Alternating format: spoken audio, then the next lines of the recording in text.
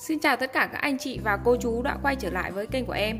Các anh chị và cô chú nhìn này Hôm nay nhà em mới phát hiện ra một bí mật gần nhà mình Đó là có một cái cây cà núc áo Hay còn gọi là cà dại hoa trắng. Cây cà này thì rất là là một món ăn rất là phổ biến Và một bài thuốc rất là quý. À, Ở các à, tỉnh ví dụ như là Tây Nguyên Miền núi phía Bắc thì cái cà này là một loại thức ăn được à, người đồng bào rất là yêu thích và mình cũng có ăn qua rồi. Và mình cảm thấy là đây là một món ăn rất là ngon chữa được rất là nhiều bệnh. Hôm nay thì em sẽ chia sẻ đến cả nhà các anh chị và cô chú những cái công dụng rất là tuyệt vời của cà núc áo cũng như là à, những à, một món ăn từ cái cà núc áo này nhé. Tuy là mình hôm nay mình nấu một cái món nó không chuẩn như à, các anh chị à, ở trên tây nguyên nhưng mà mình cũng sẽ à, nấu một món ăn ngon từ cái cà núc áo này cái bộ phận dùng để làm thuốc của cà núc áo thì người ta sẽ lấy cái phần rễ hoặc là phần quả và phần lá. Nhưng mà ờ, ở đây thì hôm nay em lấy được khoảng chắc là khoảng 500 gram quá. Cái quả rất là ngon luôn. Và mình sẽ à, xào nhé. Nó có vị cay tính hơi mát và à, không có độc.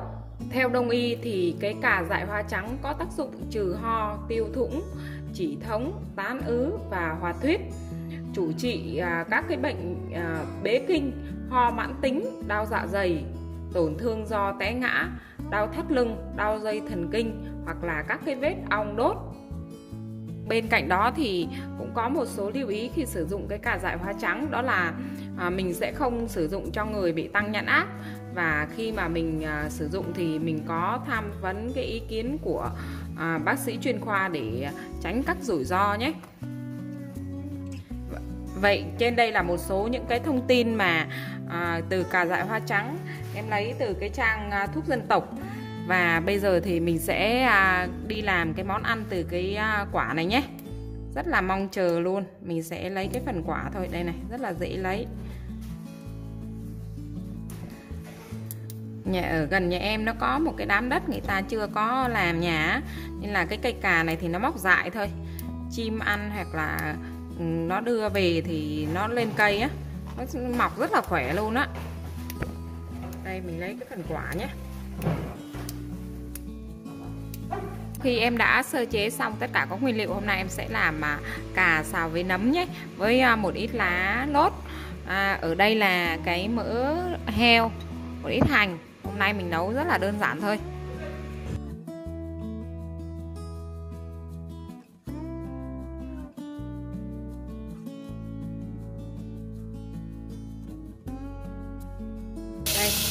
Cho thêm một nắm ớt xanh nhé.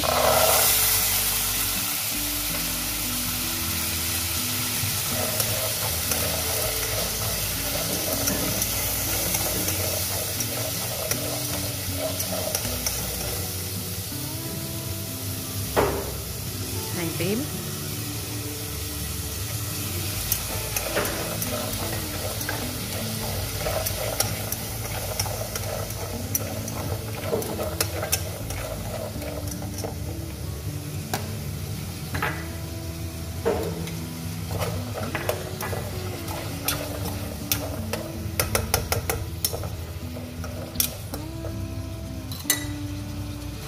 Mình nêm gia vị này, mình cho một ít hạt nêm thôi. Một xíu muối. Một xíu bột ngọt.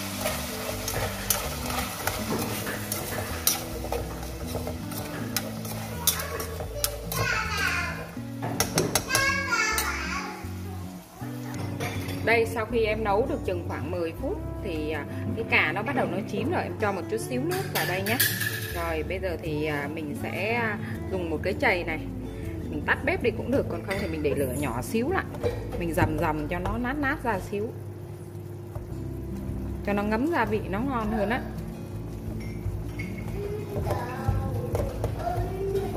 Đây, cho nó nát nát ra như thế này. Này, mình mới cho nấm nè.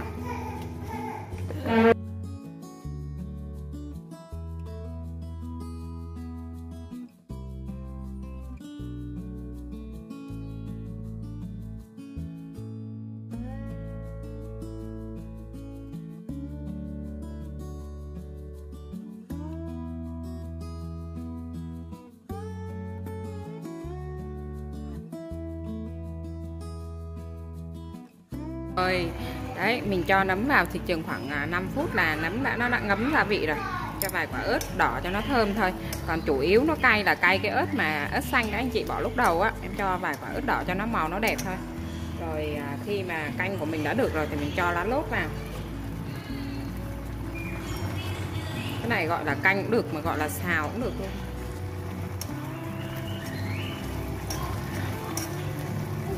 Rồi mình tắt bếp thôi nhé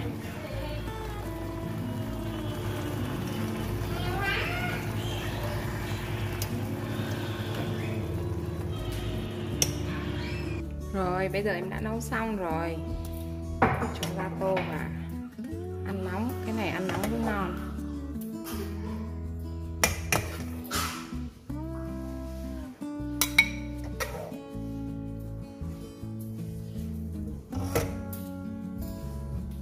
Đây, đây là bữa cơm em đã vừa chuẩn bị xong. Cá khô, canh à, nấm với cà Một ít muối để mình chấm cá. Cá này nhạt Cơm trắng. Video thực hiện cái à, công dụng cũng như là chia sẻ về cái cà dại hoa trắng hay còn gọi là cà núc áo của em đến đây cũng kết thúc. Xin chào và hẹn gặp lại các anh chị ở các video tiếp theo. Em hy vọng là các anh chị sẽ ăn thử cái món này vì nó rất là tốt cho sức khỏe. Mình sẽ làm cho cả nhà mình cùng thưởng thức nhé.